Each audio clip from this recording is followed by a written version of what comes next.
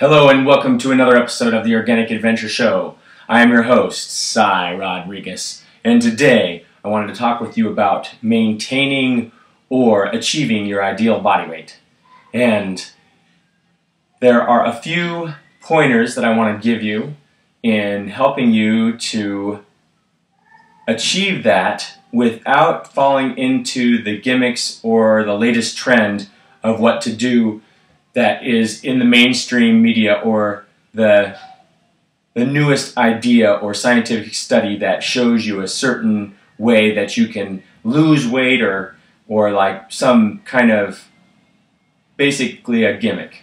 So, number 1, you have to find a way of eating that allows for you to eat as much as you feel like eating and enough to give you all the calories that you need, that gives you all the nutrition that you need without having to think about it too much how many calories you're eating and without having to worry about it if you're overeating or not. One that gives you freedom to basically just eat when you're hungry and then not worry about it. And for some people, you may have to moderate that a little bit, just get used to eating what would be considered a portion size or eating until you're not completely full, um, just to help yourself if you are way overdoing it. But the bottom line is, is there is a way that you can eat and you can eat a lot and not have to worry about gaining a lot of weight. And that is using a plant-based whole foods diet where you eat plenty of vegetables and fruits, nuts, seeds, grains, beans, and a couple of oils, and that's it as far as oils go. But you don't really have to worry about the quantities that you eat. You just eat when you're hungry.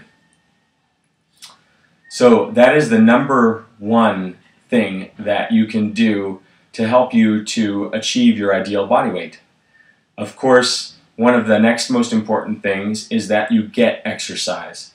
Now, when I talk about getting exercise, there are exercises you can do to achieve specific results. But mainly, what I mean by exercise is just having some kind of an active lifestyle.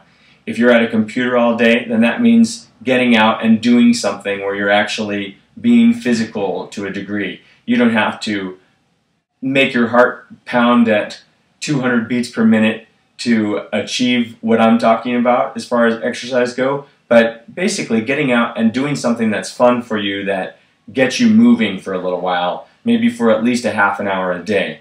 And of course, you can do regular exercise programs. I do about two hours per week of an actual exercise program that I created, and that's all I do to maintain and keep myself fit and strong.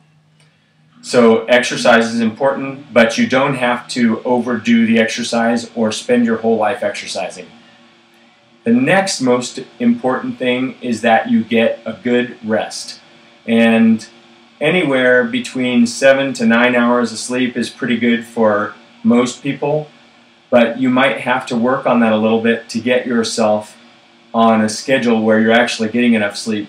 Your body will recover better and it will burn more fat you will have less stress and less of the hormone cortisol that is created as a result of undersleeping and of too much stress.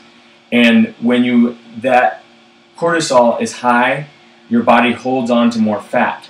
When your cortisol levels are normal, then your body is able to burn more fat. So that is something that is important to keep in mind that you want to keep your stress levels low and you want to be able to get a good night's rest. So I want to leave you with one last thing on maintaining your ideal body weight. For some people, you're going to be overweight. For some people, you're going to be underweight, and you're going to want to gain weight. And I want to say that intentionally, in the last two years, I've put on 25 pounds or so, maybe a little bit more than that. And this is what I wanted to do because for many years, I was eating in a way where I was eating a pretty healthful diet, but I just couldn't put on that extra weight. And all I've done to put on that extra weight is do intensity exercises, mostly without weights, but with a few weight exercises.